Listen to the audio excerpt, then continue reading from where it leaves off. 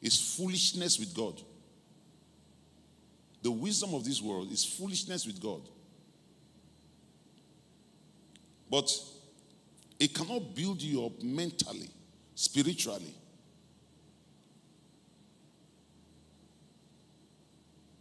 He said God's word is able to build you up. It will build you up spiritually. It will build you up mentally. It will build you up physically. It will build you up financially. Think about it. With all the advances